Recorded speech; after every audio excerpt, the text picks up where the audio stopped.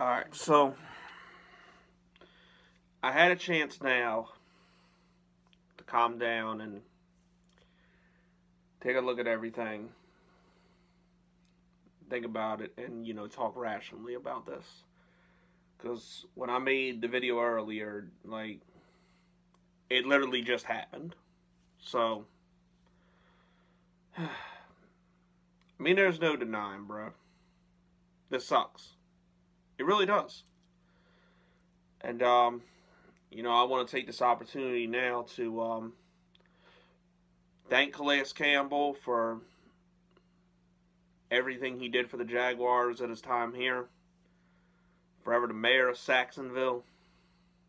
I mean, it's no lie, we lost a great player, good locker room guy, and as big as this fucker was in person, you know, absolutely cool guy to be around. I'm happy I got to meet him once, and um,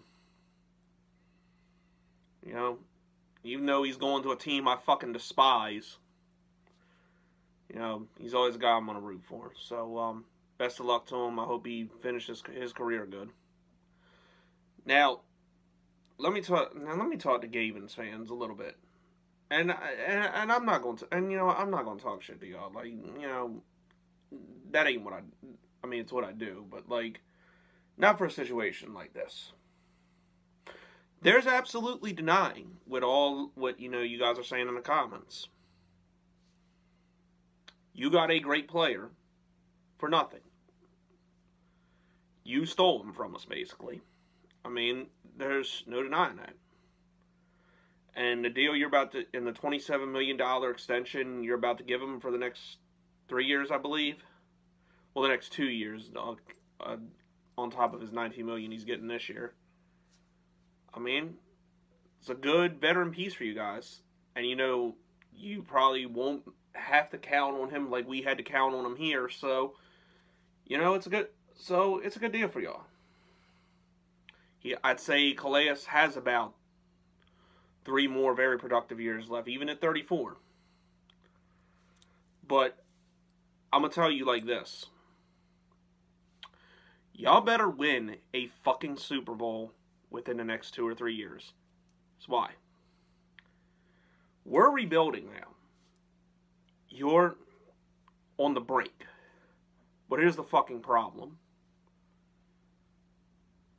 Two years ago, when you draft, when you got Lamar Jackson, you were surprise division winners and you made it to the playoffs, and then you lost to the Chargers. You know, everybody could kind of excuse it for Lamar because he's a rookie in a new system and all that.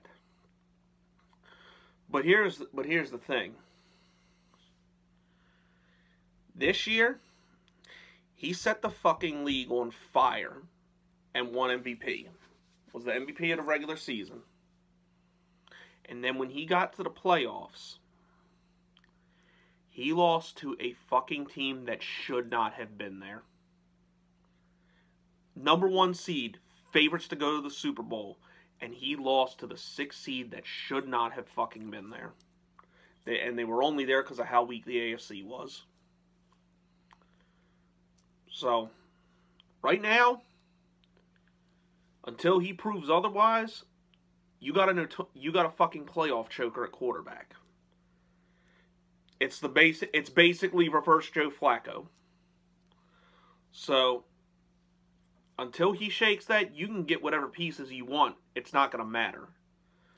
And the reason he's got a two or three year window, because after that, because after that, you're going to have to pay him, and you're going to have to pay him a lot, along with other along with other key pieces on your defense. You know, like Marlon Humphrey, Mark Andrews. You're not going to be able to keep it, and you're not going to be able to keep everybody. And you just lost Marshall Yanda, so you might want to get some O line help. So you got a good pl- so you got a good player, and you better make the most of it. Because if you because if Lamar can't shake this fucking not winning in the playoff shit, it ain't gonna matter who the fuck you get. And that's just facts. So you better find a way to win a Super Bowl. You better overcome the Red Ranger and Kansas City and whoever else might be contending for it. So, Oh, and let me and let me speak to these dumbasses since they always have some these dumbass Titans fans since they always have something to say on my comment section no matter what the fucking video is about. You know, you act like you fucking did it. You act like you traded for Calais Campbell. You didn't do shit. Why like why are y'all trying to get me to notice a fucking team that can't that hasn't won a division title in damn near 20 years and when the moment counts can't get the fucking job done? You had the easiest like I don't give a shit what anybody says. You had the easiest fucking road in the play one of the easiest roads in the playoffs this year I have ever seen and you and your one big challenge you couldn't fucking do it. And yes, you did have an, an easy child, an easy road. You played a fucking dynasty that was that was crumbling right before our very eyes. Tom Brady, old as shit, had no receivers, no Gronk, no running game. And you barely beat him. And then, like I said, you went to Baltimore and beat a guy that can't win in the playoffs. And in both of it, and you want to talk, and you want to talk about stupid ass moves. How about the contract you gave Ryan Tannehill? You gave him $118 million, 62 million guaranteed. You thought the Foles contract was bad? You're going to be in way worse of a boat if this shit blows up in your face.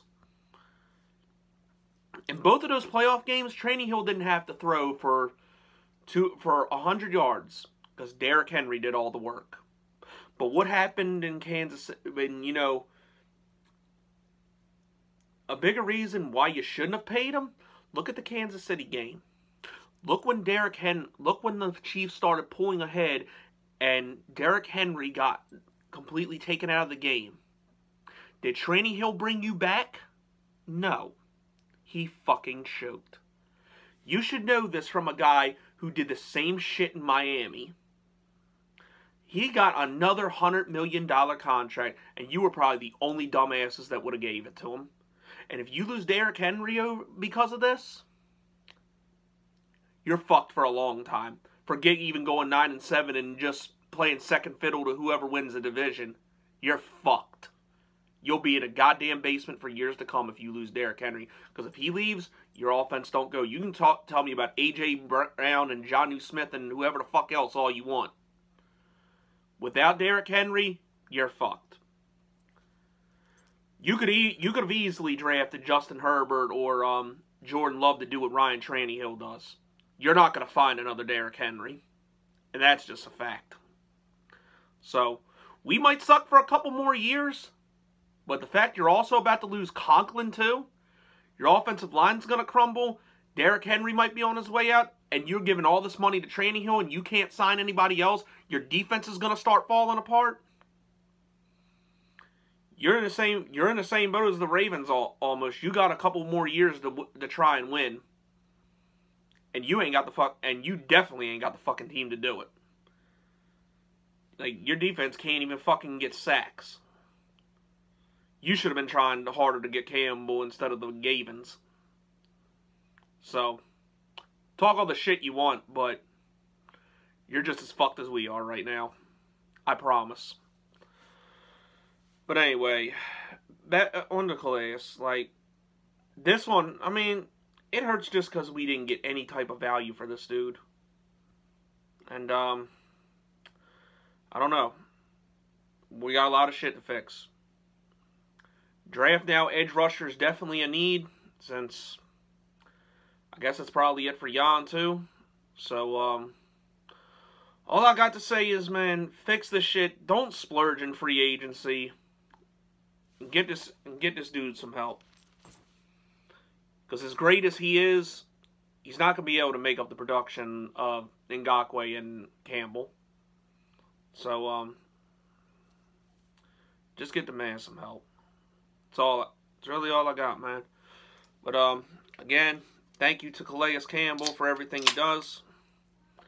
Best of luck to you. Best of luck to you from the future. You've had a Hall of Fame career. You'll be missed in Jacksonville. Cheers, my friend. Oh, and Natty Boh. How fitting.